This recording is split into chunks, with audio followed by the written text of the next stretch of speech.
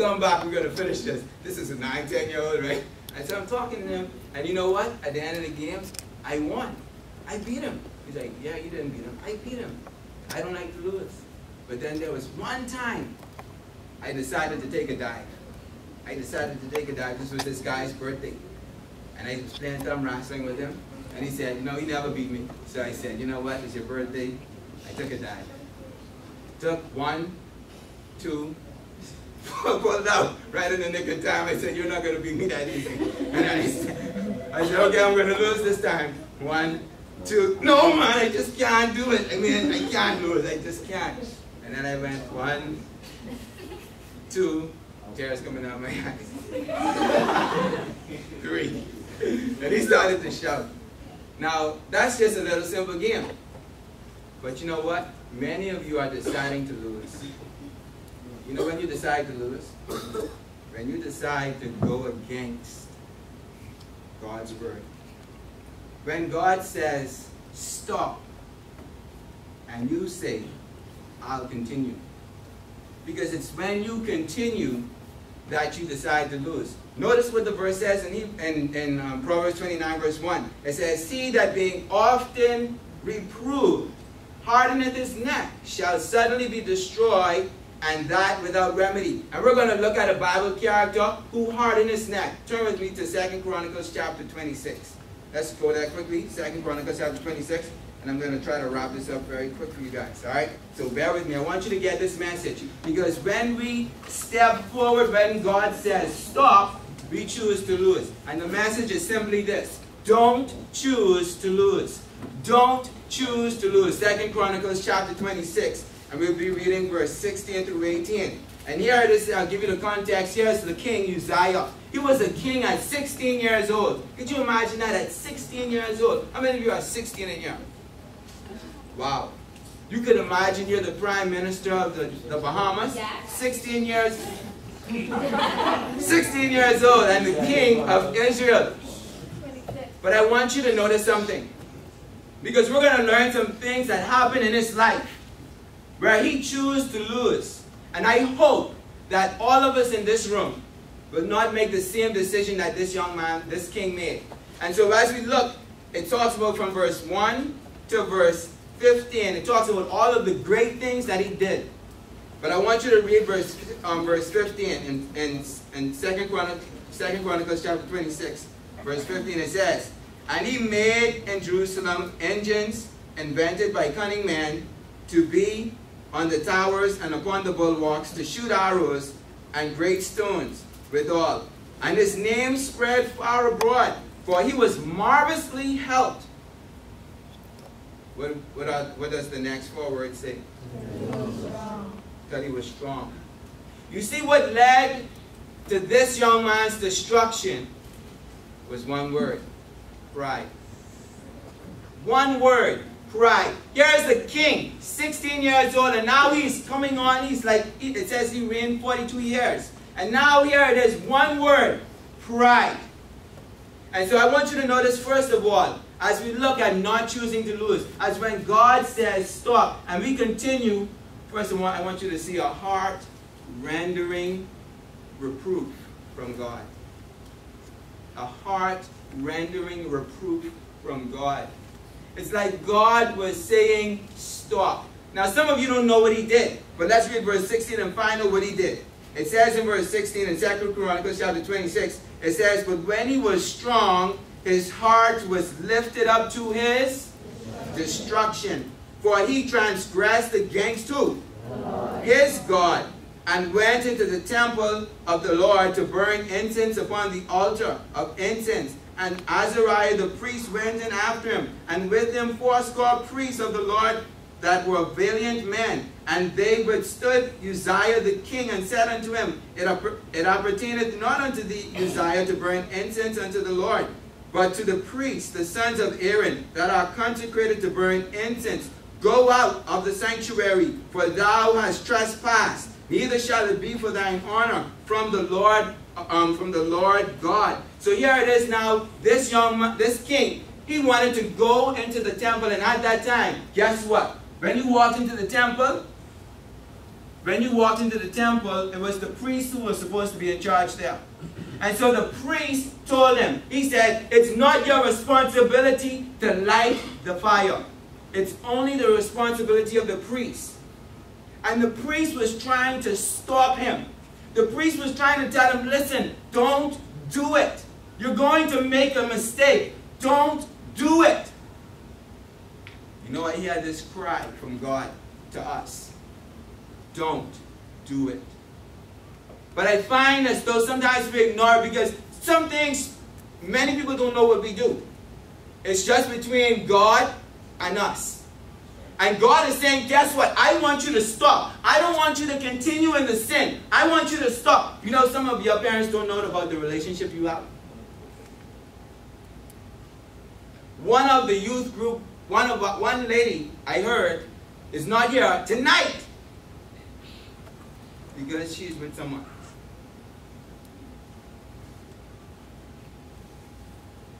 Listen.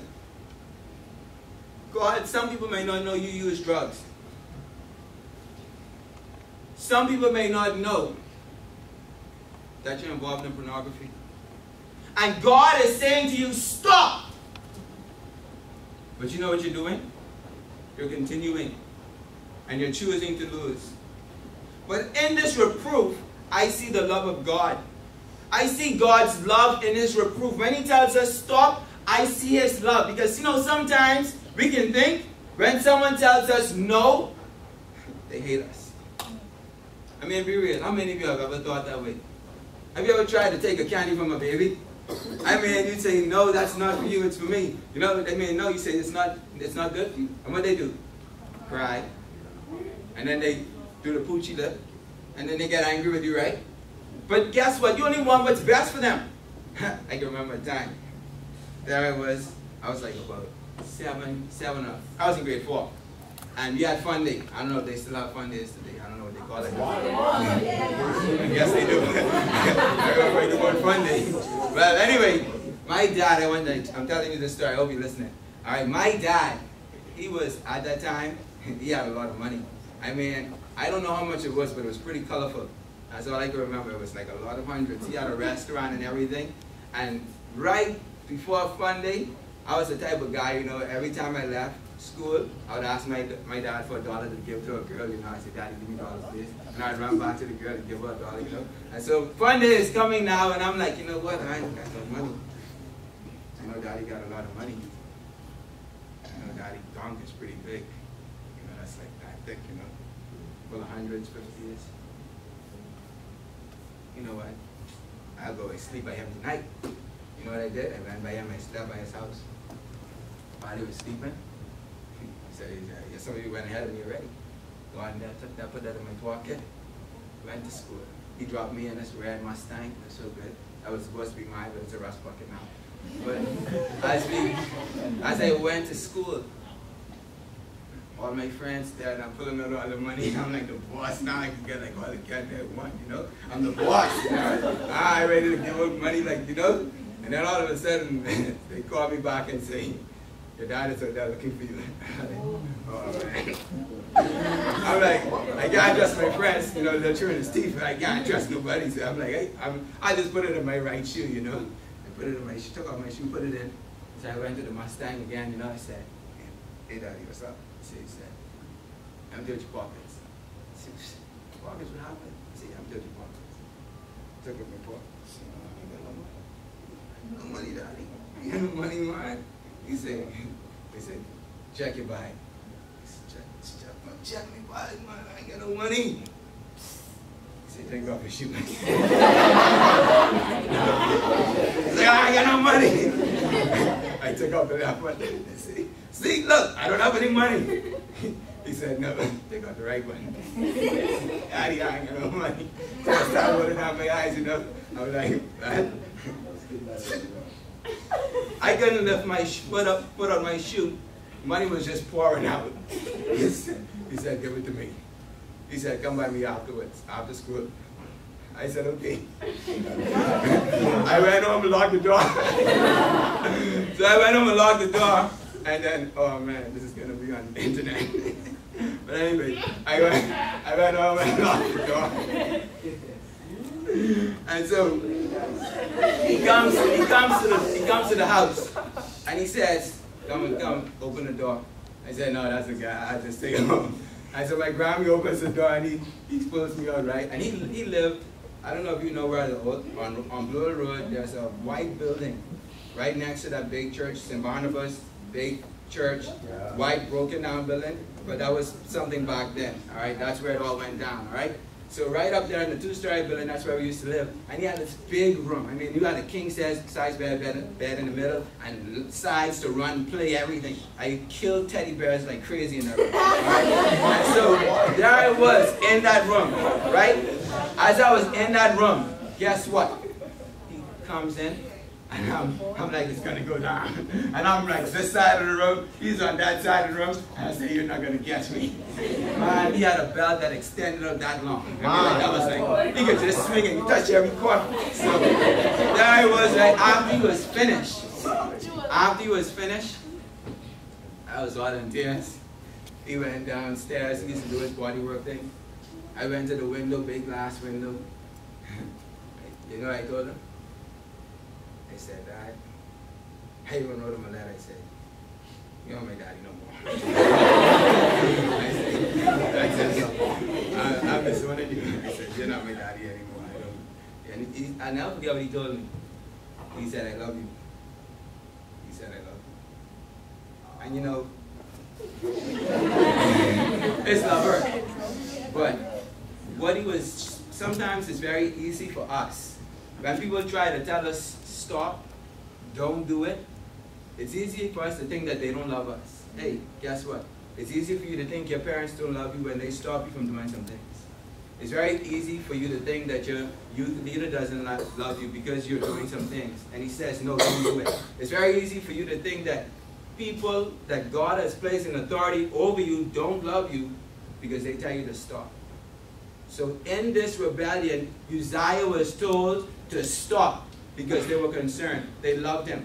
And they didn't want him to be punished. But then the second thing under his rebellion, guess what he did?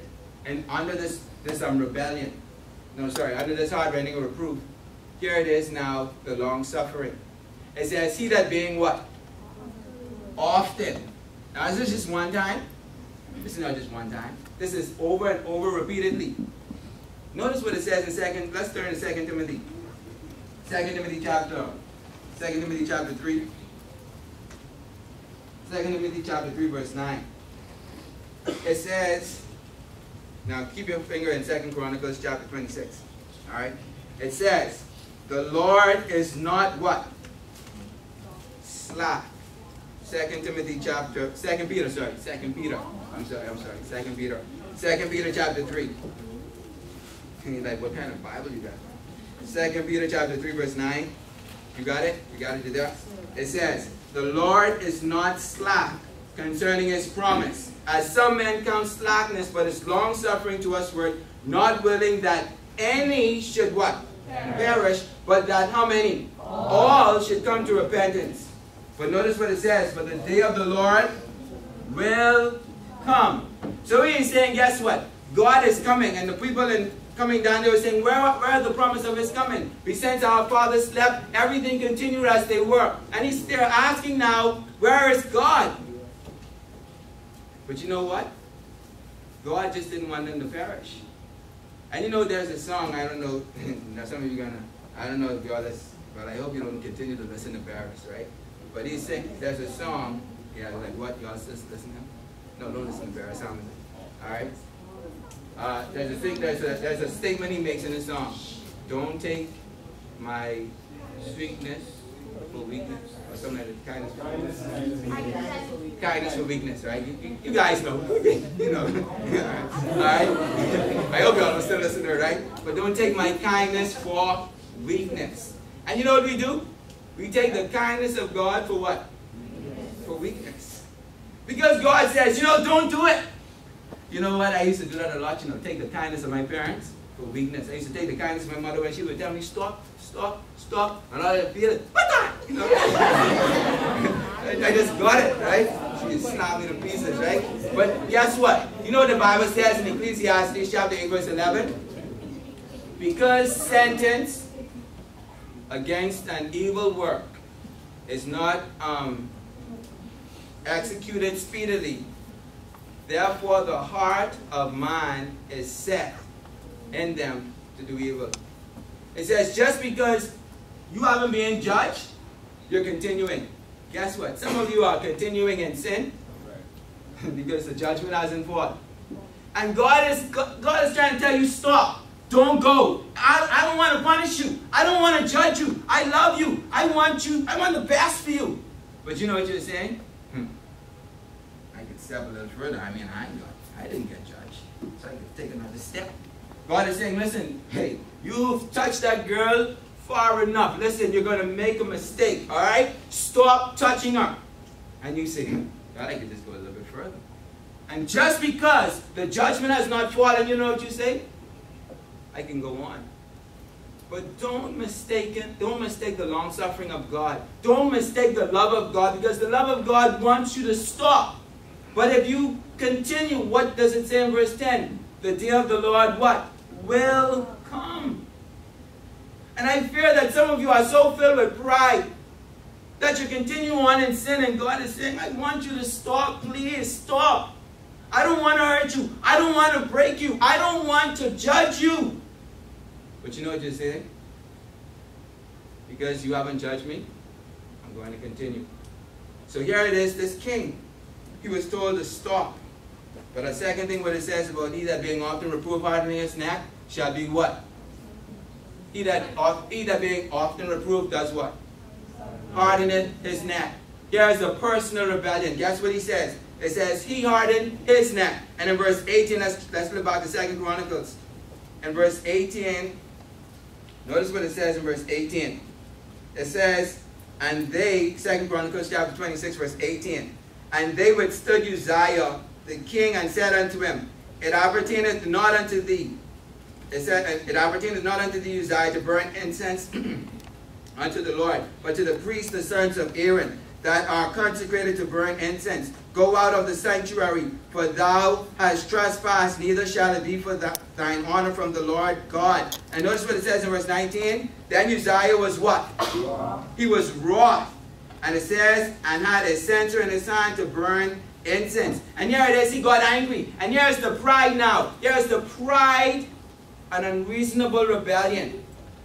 The second thing is an unreasonable rebellion because here it is now the God that had his life in his hand. He is now rebelling. The God that made him to prosper. He is now rebelling against that same God. You see in verse 16, verse 5, notice, let's look at verse 5. What does it say? Wow, it says, and he sought God. And what does the last 5 verse say? So he says, God made him prosper. Let's look at verse 7. And it says what? And God what? And so God helped him.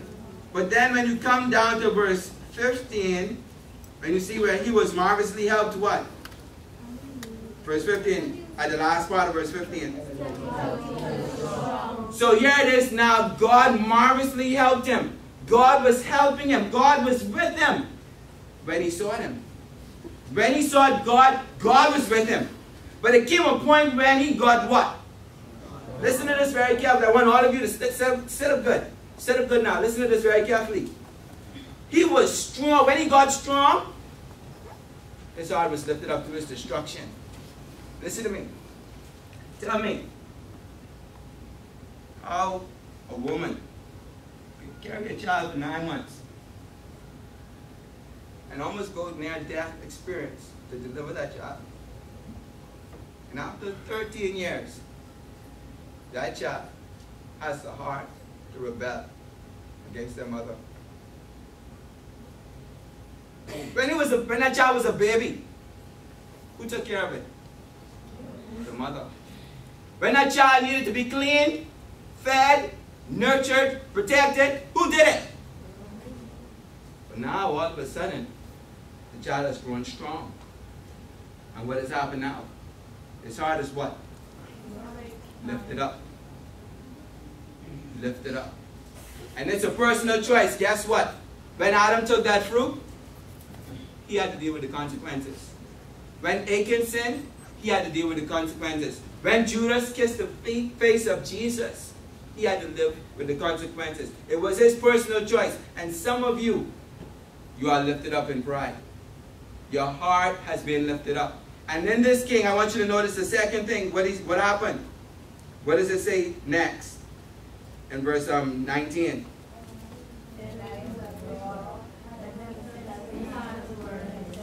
And while he was what, what happened with the priest?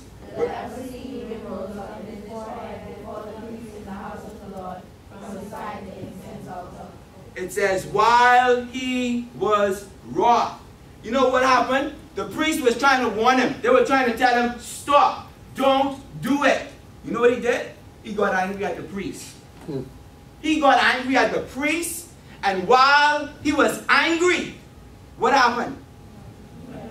The judgment fell. Wow. Listen to me carefully. God has sent some people in your life to tell you stop. Amen, brother. But you know what happens? When they tell you stop, what do you do? You get angry.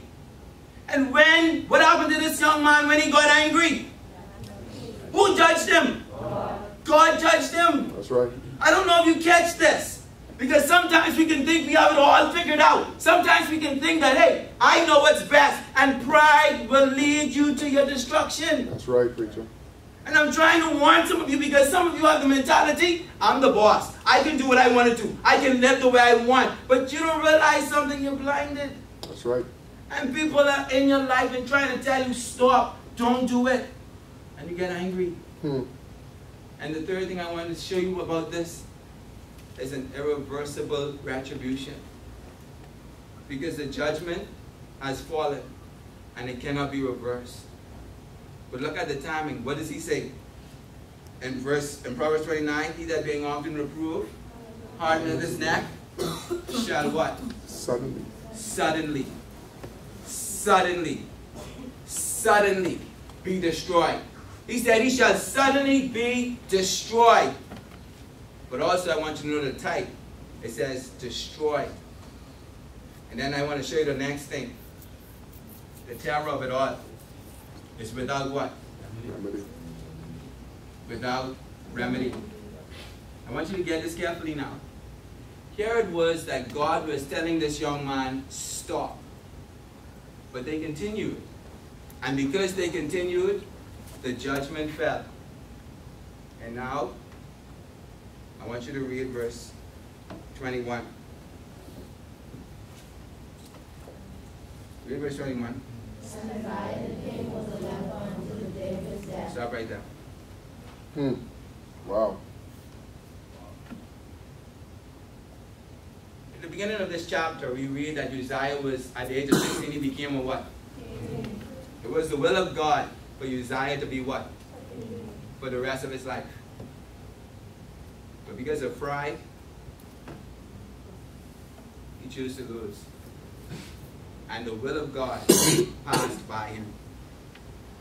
Right now, I don't know what it is in your life, what God has been telling you to turn aside from. But if you continue in sin, when God has clearly told you to stop,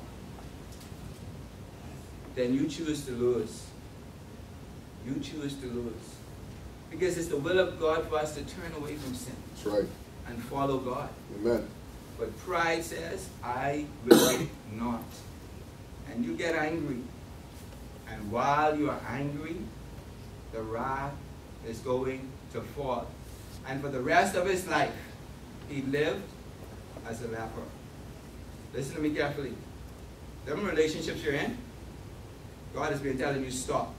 Preach, brother. You know that boy ain't saved. That's right, preacher. Stop. Amen. Because when you get pregnant, and he lives, you're going to have to live with the, with the child for the rest. Wow, good illustration. Excellent.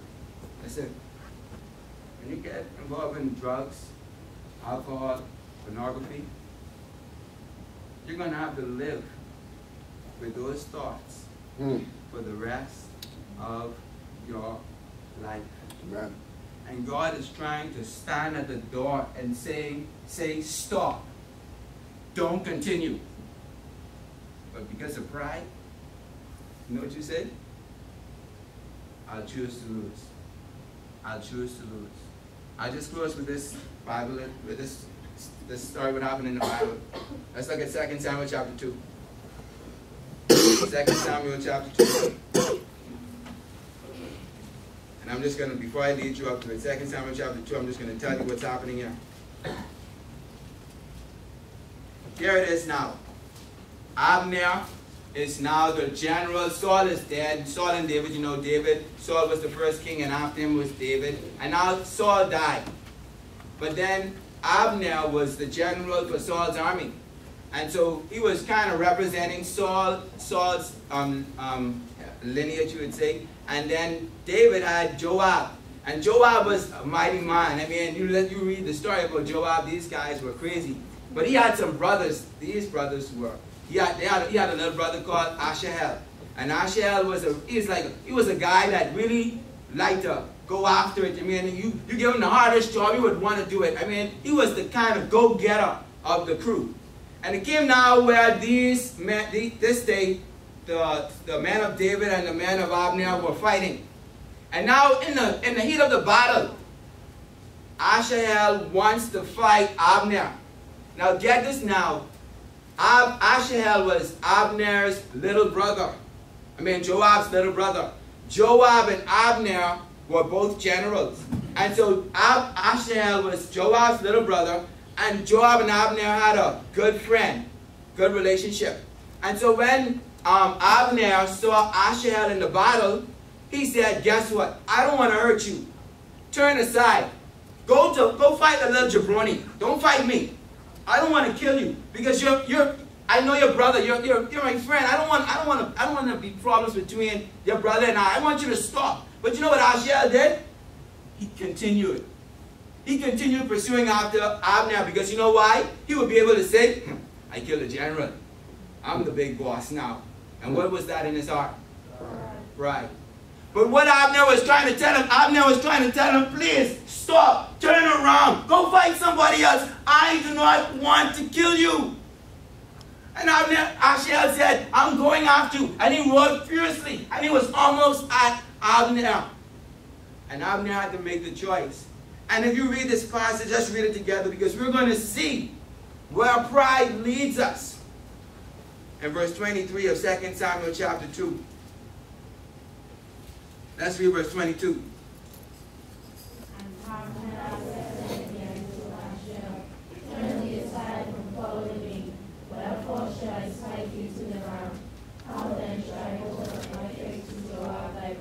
And look verse 23. Please pay attention to verse 23. Read it.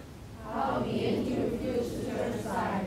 Wherefore Abner was the hinder and the spear smote from the shipwreck, that the spear came out behind him, and he fell down there and died in the same place.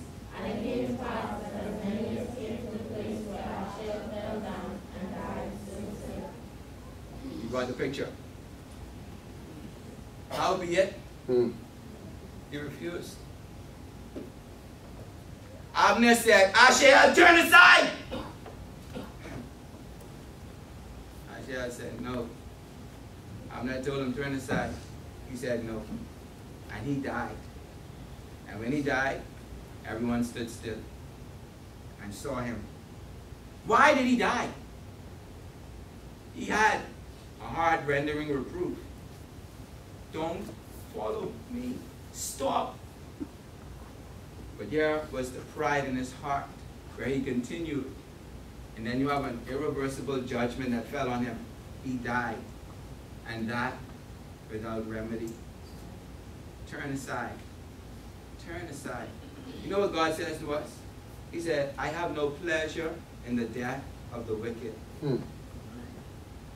God has no pleasure in judgment. But if you turn, if you don't turn aside, then you're going to experience the judgment of God. That's right. Just turn aside. I don't know what sin is in your life. I don't know. But I know the Bible talks about pride. And pride will keep you on the road to destruction. But if you humble yourself and say, God, by your grace, I'm going to turn aside. I have heard you telling me to stop a long time ago, and I've continued. But tonight, by your grace, I'm going to turn aside. With all that's power and all eyes closed.